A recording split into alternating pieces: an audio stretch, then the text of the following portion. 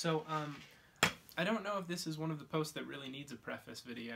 Uh, I will say that it is a pretty weird world we live in.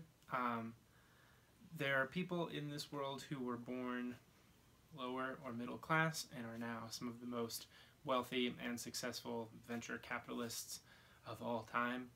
Uh, that's a thing that you can do apparently in your 20s and 30s. Um, and I had the opportunity to ask a question to uh, specifically Chris Sacca, who is one of one of the people who is a self-made billionaire in the world, and uh, his answer was just surprisingly empathetic. And this is a post about that. Um, I worry a lot about sort of how it seems things might turn out since technology is, is changing the foundations society is built on so fast.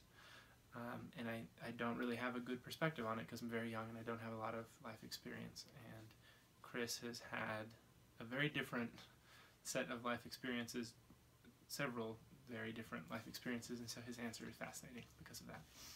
Um, I think that I don't know. I was just honestly happy that he answered my question, and uh, that's why I wrote this post. I hope you really enjoy it. Uh, it makes you think, and I hope it uh, helps you consider things in your own life that you might be not appreciating the value of other people's perspectives on. Thanks for reading. I'll see you in the next one.